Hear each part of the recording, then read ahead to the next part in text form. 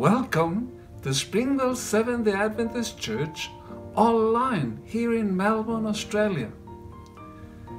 We'd like to remind you to continue sending us your comments as well as your suggestions on how to make this program better.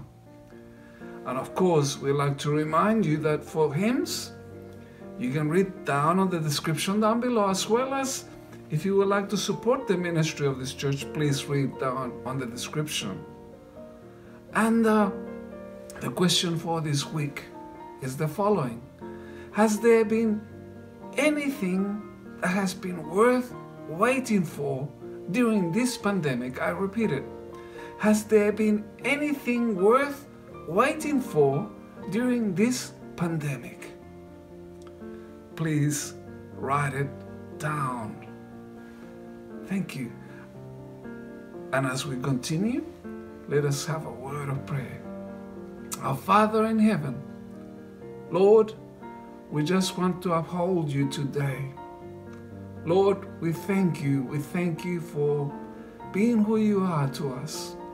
Lord, we acknowledge that we have fallen short of the glory of God.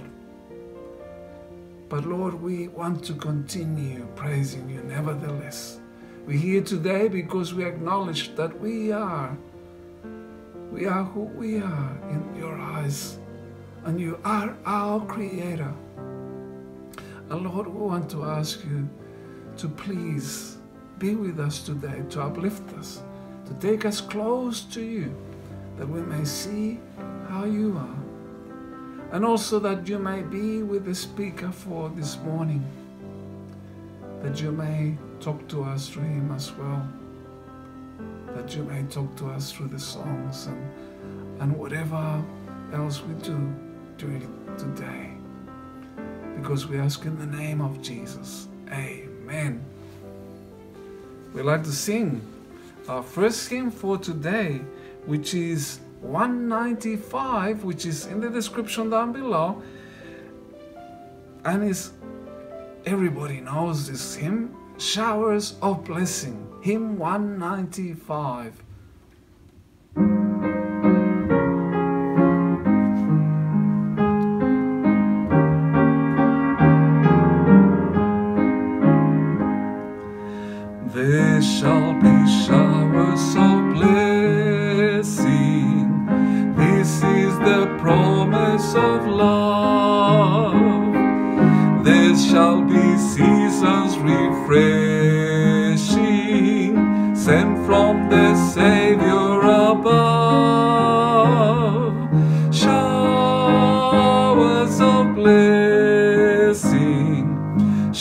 Showers of blessing we need. Mercy drop round us are falling, but for the showers we plead. Last verse. There shall be showers of blessing, oh that today they might fall. Now as to God's we are confessing, now as to Jesus we call. Showers of blessing, showers of blessing we need. Mercy drop round us are falling, but for the showers we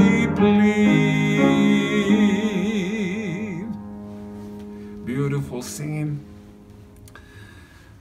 We're going to introduce our speaker for today. And this is Jona Samuela. Thank you, Jona. Well, good morning and happy Sabbath, Springvale Church. You know, it's my first time doing this, but it's I'm looking forward to it. And um, you know, I believe God does have a message for us.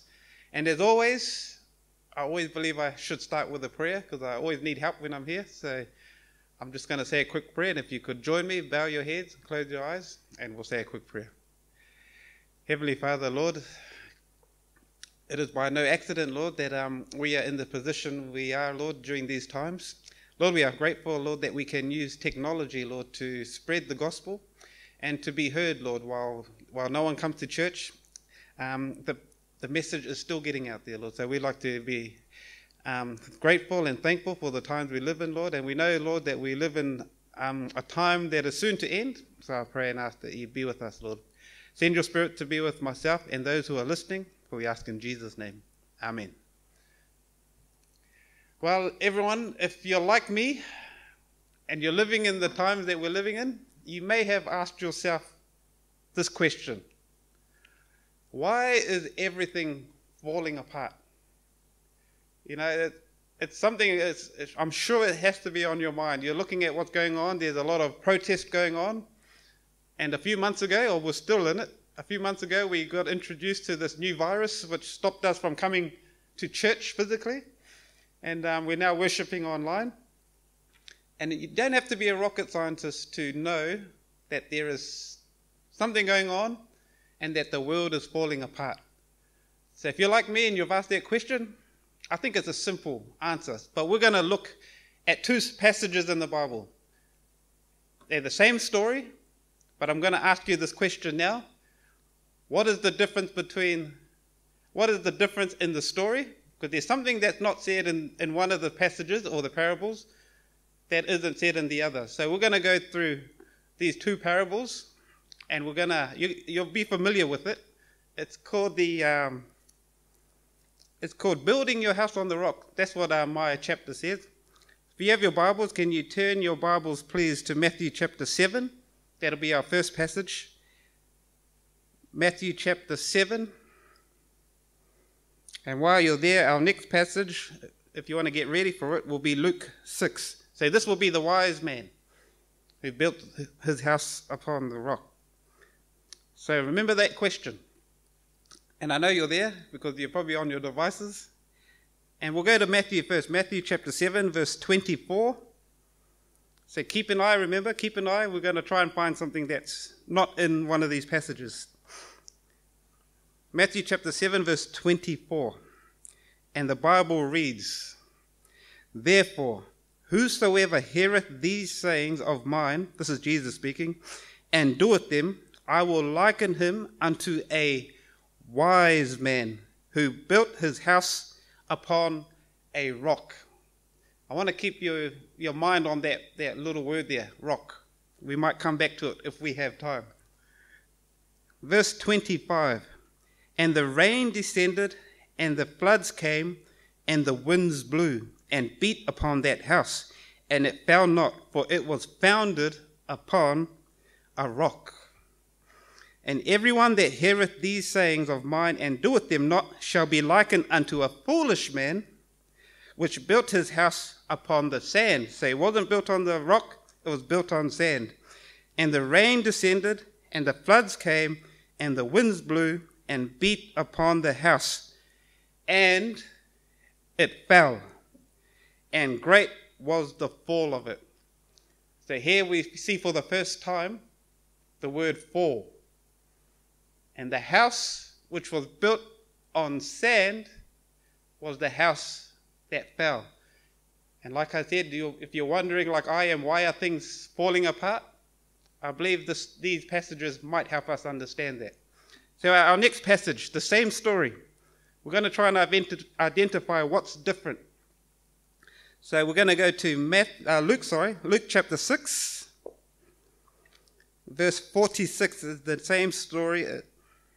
Luke 6, verse 46. And we're going to start there. Amen. I know you're there. So let's read the same story in Luke's eyes. Verse 46 And why call ye me Lord, Lord, and do not the things which I say? Whosoever cometh to me and heareth my sayings and doeth them, I will show you to whom he is like. He is like a man which built an house and dig deep and laid the foundation on a rock. And when the flood arose, the stream beat vehemently upon the house, and it could not shake, for it was founded upon the rock. Verse 49 But he that heareth and doeth not is like a man that without a foundation built an house upon the earth, against which the stream did beat vehemently, and immediately it fell, and the ruin of that house was great. So here we see one of the reasons why our homes fall apart. And you probably could say our lives fall apart because our house or our home is not built upon the rock. And if it's not built on the rock, we know that when the winds come or when strifes come, that wind will blow on that house, which is built on sand, and it will fall. And we see a lot of falling today. Just have to turn on the news, everything is falling apart. And maybe because the foundation of everything that's falling around around us in the world is upon sand. So what's different is that the house that didn't fall was built upon the rock. Now, the question I, I'm going to come back to that question. Did anyone see what was different in these two passages? I'm going to give you a, a few seconds to think about that. What was different between Matthew and Luke's transition or interpretation of this story? What was different? What was different in Luke? Let me just say that. What was added in Luke that wasn't in Matthew? Have a quick look, and then we're going to get into it. Okay. Thanks to technology, we're going to get straight into it. I want you to turn your, your eyes upon verse 48 of Luke chapter 6. I will read that again. This is what's different. See if you can pick it out. And he, this is about the, the wise man. He is like a man which built an house and digged deep and laid the foundation on a rock. And when the flood arose, the stream beat vehemently upon the house and could not shake it, for it was founded upon the rock. So we see both homes, both houses here built upon the rock. But one thing different in Luke that wasn't mentioned in Matthew is simply the wise man digged deep. You know, I used to say that when we used to play sport. You know, you're in a um, one of those tough times, and it used to be common. Someone would always yell out, "Dig deep," which means you've got to dig in, dig inside of you and try your try your hardest. But here we see it: the wise man dig deep. Now, my question to you, another question. When did the wise man stop digging? I'll leave you a, few seconds to think about that. When did the wise man stop digging? So we know he digged deep, but when did he stop digging? I'll go over verse 48 again, just the part. He is like a wise man, a, a man, sorry, which built an house and digged deep and laid the foundation on the rock. So here is the answer. The wise man dug deep, or he dug deep until he hit the rock. Now, here is another thing I believe that will help us as Christians or Seventh day Adventists.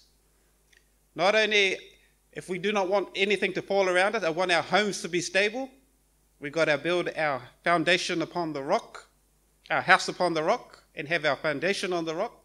But here we also see that the wise man stopped digging when he hit the rock. Now, what am I trying to say? I believe when it comes to Bible study, this is what I see. Others may, may see something different.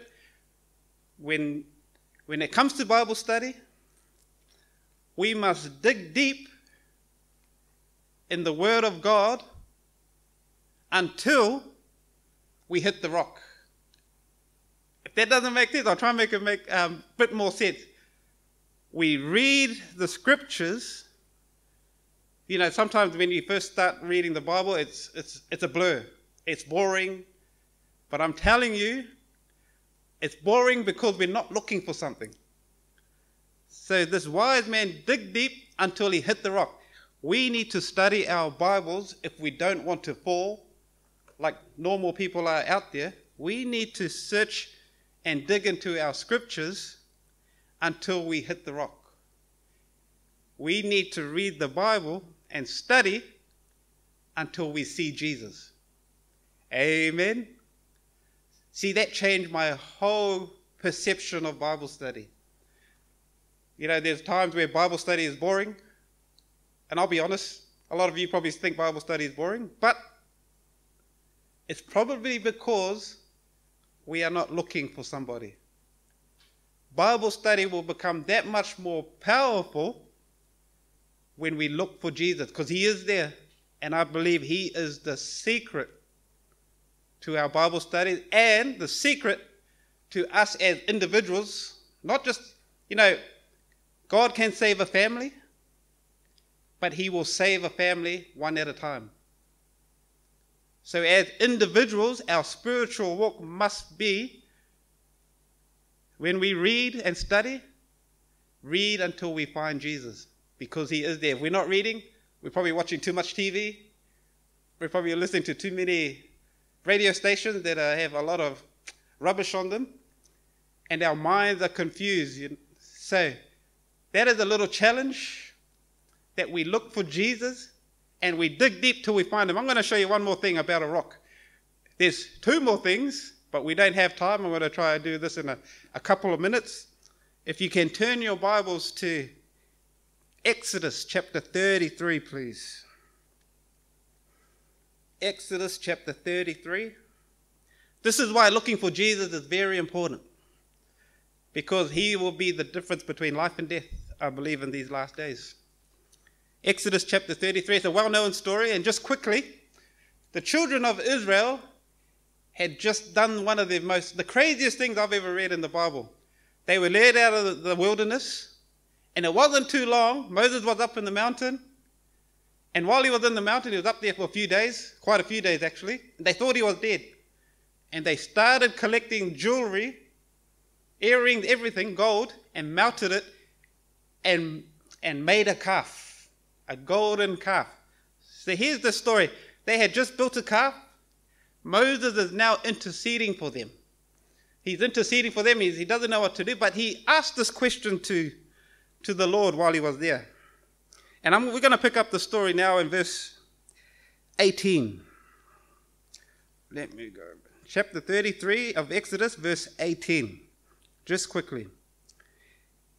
And he said to the Lord, this was after he was trying to intercede for the children of Israel because they had made that golden calf, that famous golden calf. Verse 18 And he said, I beseech thee, show me thy glory. And he said, I will make all my goodness, this is the Lord speaking, I will make all my goodness pass before thee, all my goodness, and I will proclaim the name of the Lord before thee, and will be gracious to whom I will be gracious, and will show mercy on whom I will show mercy. And get these next few verses. And he said, Thou cannot see my face, for there shall no man see me and live. And the Lord said, Behold, there is a place by me. When I looked up that word, it means there's a place right by my side. Right by my side. And it carries on. And thou shalt stand upon a rock. You know, this hit, just hit me. Uh, I've, I've read this many times and I've always wanted to share this. Verse 22 And it shall come to pass while my glory passes by that I will put thee in a cleft of the rock, and will cover thee with my hand, and will pass by. And I will take my hand away, and thou shalt see my back parts, but my face thou shalt not see. Now, just we're going to come back to that and just quickly. When after all this, when Moses came down, the children of Israel could not stand the sight of Moses. His face was filled with the glory of God because he had just been in the presence. So he had to veil his face because it was too unbearable for the children of Israel to see. What a blessing it is when you spend time with the Lord. You know, I, I believe that there is a glow on the face when someone meets and studies with the Lord in the, in the scriptures. But here is what he said I will hide thee, or I will put thee. Now get this the picture. God picked up Moses and he puts him, it says he puts him on the rock. And we've just been talking about the rock. He puts him on the rock, and then he says, When I come down and when I walk past you, I, God, will put you in the cleft of the rock. And what's interesting about that is that, you know, when you look up cleft or clift, it's a it's a crack in the rock. And you know, it just dawned on me one day that that is the gospel right there. God put Moses, not Moses put himself there, God put Moses in what I believe is a symbol of the righteousness of Christ. You see, a rock, we know in our, in our stories of Matthew and Luke, we know that is Jesus Christ. But here we see it is a crack in the rock. So he hides them in this crack or this cave, and then he, he walks past. You know, I believe, brothers and sisters, if we are to see God, we need to be wrapped in the righteousness of Christ in order to do so. It will be impossible to see God and not be wrapped or covered in the rock or wrapped what we know and believe as the righteousness of Christ. It's also interesting. This rock had a crack. There we see in the crack the human side of Jesus, and the rock we see the divine side of Jesus. Oh, such a beautiful story. You know, if you apply, it has to apply in everything we believe. The righteousness of Christ, we are told in Spirit of Prophecy, is the, she says, simply, I'm quoting here, she says, it is, if there is one topic that swallows all subjects that we believe, it is the righteousness of Christ. So that is my little thought for us today. Exactly on time, but hopefully you are blessed the way that I was blessed. And I pray as everything is falling around us, the secret to not falling and our homes to be sustainable is to have our homes built on the rock. And as individuals, is to search for Christ in the scriptures. It might be blurry, but if you look for him, you'll find him. And that will make all the difference. Bible study will become beautiful. So, thank you, brothers and sisters. Happy Sabbath, and we'll see you next time. God bless. Thank you, Jona, for those wonderful words today. We like to keep singing with our last hymn, which is number 338. And it's called Redeemed. Redeemed,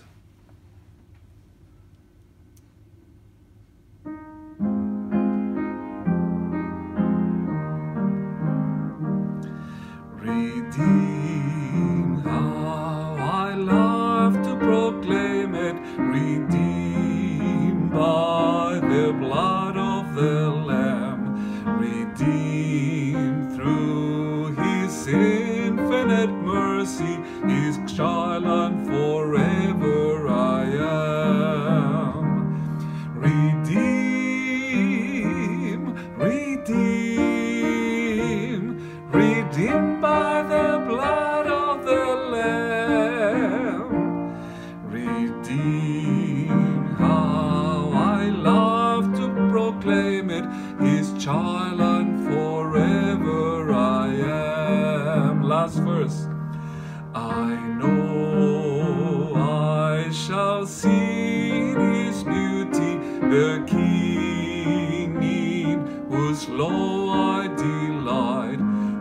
lovingly guideth my footsteps and giveth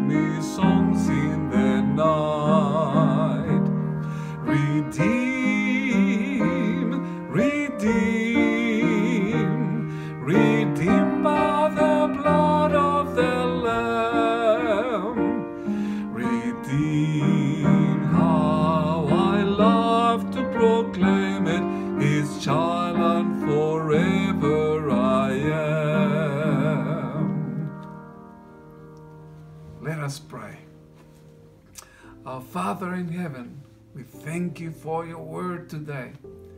We thank you for the songs that we've just sung. We thank, thank you for your presence here. Above all, Lord, that we felt your spirit today. May this may your spirit, Lord, reign in us. And the words that were spoken today, may they stay in our minds for today and tomorrow, the rest of the week, Lord, until next Sabbath. We thank you so much for everything, Lord, that you do through us today and always.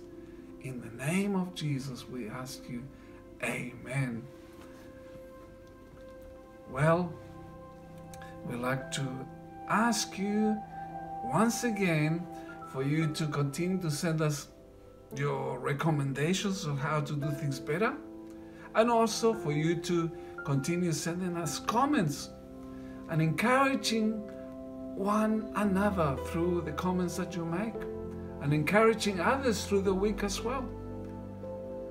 There's one thing I would like to tell you, and that is God bless you and God keep you safe this week.